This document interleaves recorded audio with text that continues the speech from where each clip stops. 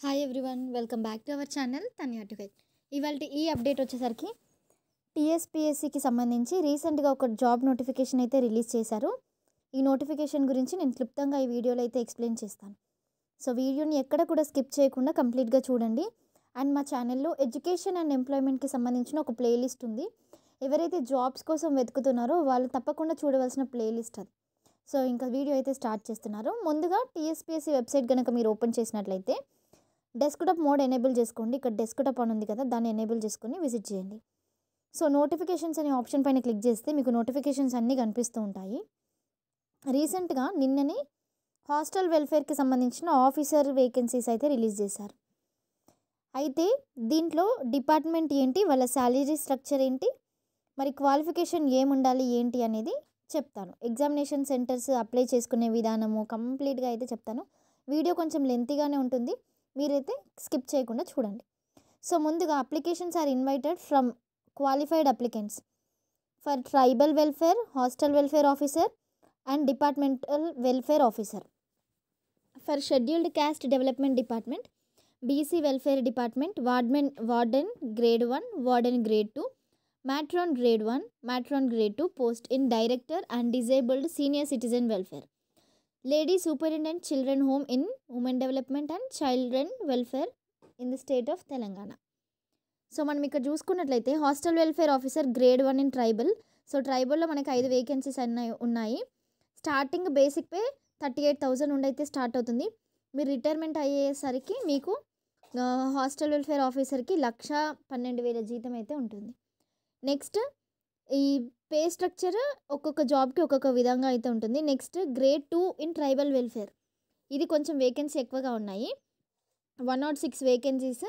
Salary వచ్చేసరికి thirty five thousand retirement అయ్యేసరికి one lakh four thousand rupees తోటి మీరు రిటైర్మెంట్ అయితే అప్పటి వరకు మీకు అంత పే అయితే వస్తుంది. Hostel welfare grade two female in scheduled caste development seventy vacancies ఉన్నాయి. Hostel welfare officer grade two male in scheduled caste. SC category డిపార్ట్మెంటల్లో two hundred and twenty eight male male male ఆఫీసర్స్కి.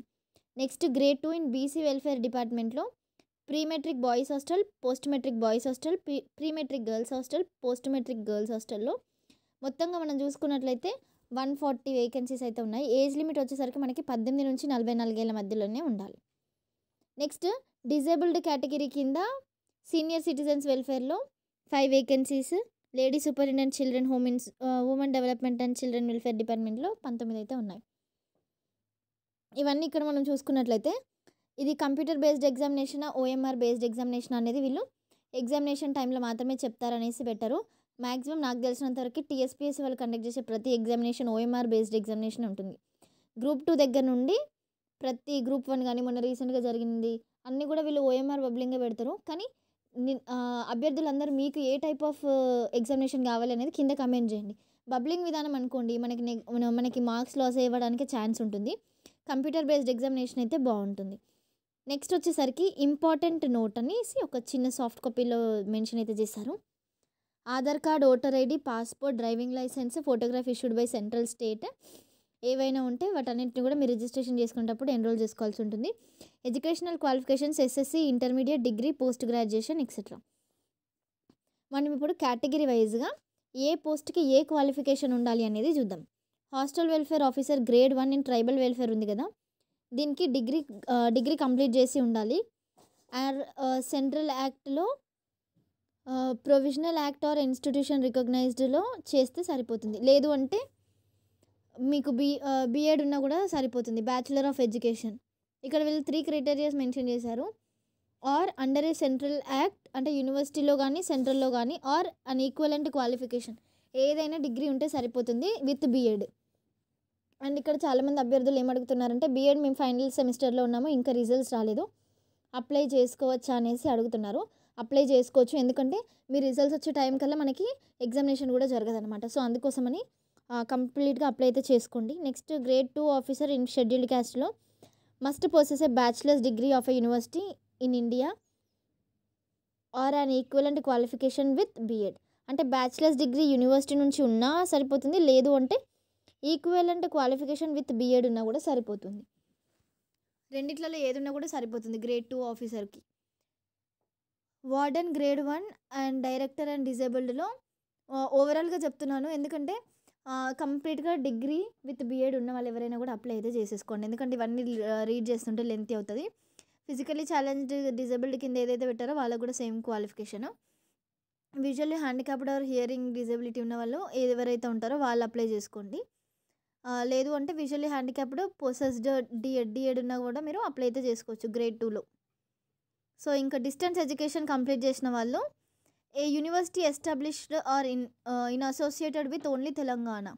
అంటే మనము కొంతమంది ఆచార్య ఎంజరంగా చేస్తారు అది చెల్లుబాటు అవ్వదు మన దగ్గర. మన తెలంగాణలో అంబేద్కర్ ఓపెన్ యూనివర్సిటీలో ఓపెన్లో చేసిన వాళ్ళు ఎవరైనా కూడా అప్లై అయితే చేసుకోవచ్చు.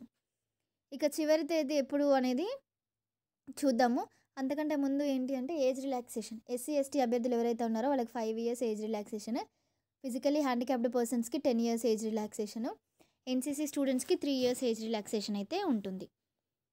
Next application and processing fee two hundred rupees and also examination fee eighty rupees అందరూ ఆల్ ఎంప్లాయీస్ ఎవరైతే అన్ఎంప్లాయీస్ ఉన్నారో వాళ్ళందరూ కూడా పేమెంట్ చేయాల్సి అయితే ఉంటుంది. అండ్ మోడ్ ఆఫ్ పేమెంట్ ఆన్లైన్లోనే అప్లై చేసుకోవడం. ఎగ్జామినేషన్ సెంటర్స్ వచ్చేసరికి Adilabad Karimnagar Warangal Khammam.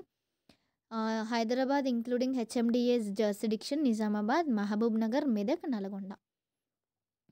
Next ఇంకొక వీడియో రిలీజ్ చేస్తాను. ఎట్లా అప్లై చేసుకోవాలి ఏంటి అనేది. అందరూ కంపల్సరీగా టీఎస్పీఎస్సీ వెబ్సైట్లో ఉన్న రిజిస్టర్ అవ్వాల్సి ఉంటుంది. ఇప్పటివరకు టీఎస్పీఎస్సీ ఐడి లేని వాళ్ళైతే ఫ్రెష్గా రిజిస్ట్రేషన్ చేసుకోండి.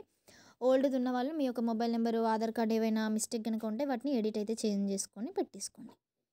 వేకెన్సీస్ ఏవైతే ఉన్నాయో వాటన్నింటినీ ఫిల్ చేయడానికి ఈ రిక్రూట్మెంట్ అయితే మెన్షన్ చేశారు. So zonal post community reservation ఇవన్నీ కొన్ని లాస్ అయితే ఉంటాయి కదా దేనికైనా కూడా. సో ఆ లాస్ ప్రకారం అయితే వీళ్ళు కండక్ట్ చేస్తున్నారు. Zone one zone two zone three ఏంటి అనేది కూడా వీళ్ళు పెట్టడం అయితే జరిగింది. Procedure of examination first on examination అయితే ఉంటుంది. క్వాలిఫైన్ ఎగ్జామినేషన్స్కి మెరిట్ లిస్ట్కి పిలవడం అయితే జరుగుతుంది.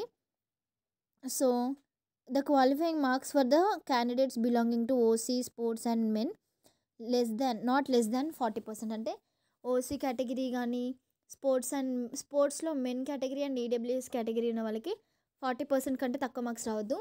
బీసీ అభ్యర్థులకైతే థర్టీ ఫైవ్ పర్సెంట్ కంటే లెస్ రావద్దు. ఎస్సీ ఎస్టీ అభ్యర్థులకి not less than thirty. So ఇదన్నమాట. ఇంకా నెక్స్ట్ వచ్చేసరికి మనకి ఏ డిస్టిక్లో ఎన్ని వేకెన్సీస్ ఉన్నాయి అనేది. భద్రాద్రిలో ఒకటి ఉంది యాదాద్రిలో రెండు వేకెన్సీస్ కాళేశ్వరంలో girls category OC girls category కింద సారీ ఓసీ జనరల్ కేటగిరీ కింద ఫోర్ వేకెన్సీస్ ఉన్నాయి. ఉమెన్స్ కేటగిరీలో టూ వేకెన్సీస్ ఉన్నాయి. సో అట్లా ఒక్కొక్క డిస్టిక్కి రెండు రెండు మూడు మూడు వేకెన్సీసే ఉన్నాయి. అంటే డిస్టిక్ వైజ్గా అయితే చాలా కాంపిటీషనే ఉంటుంది.